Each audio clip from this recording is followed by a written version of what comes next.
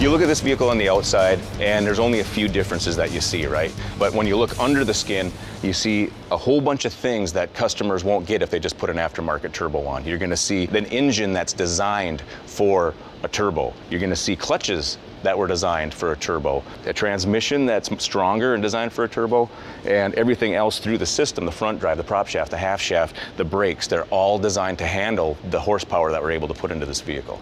You know, we thought about areas that we could improve the durability and, and make stronger on this machine. Everything that is receiving power from the engine is new, beefed up, stronger, more robust. So we thought about things like putting a gear-driven reverse in that transmission instead of having a chain. So you don't have to worry about a chain breaking. You've got solid gears connecting to one another.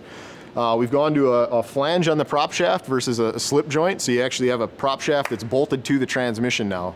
Uh, we've got a stronger output shaft going up to the front drive so that when you're you know, using all-wheel drive and you're transferring a lot of power to those front wheels, that you've got a strong system all the way back. When we get up to the front drive, we've gone to larger output hubs so that we can handle bigger half shafts, basically so we can have higher load capacity going through the whole drive line. So this is the first time that we've redesigned off-road clutches specifically for a RZR. The clutches themselves are bigger, and the reason they're bigger is, is we wanted to maximize the contact area that the belt has with the clutches.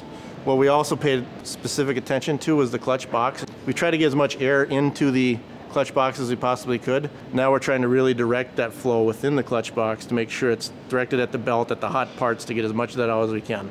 As a rider, what that means is very good belt life. It has no issues in the high load situation in the dune, even with 144 horsepower. Lastly, we made that serviceable. So 2,500, 3,000 miles, you can inspect your drive clutch. If that slider is starting to get thin, they're replaceable. You don't have to replace the clutch. We had to upgrade that transmission, we had to upgrade the shafts, and we had to upgrade the clutches. So when you look at all these driveline upgrades, they really help to make sure that you can take all that power and get it to the ground.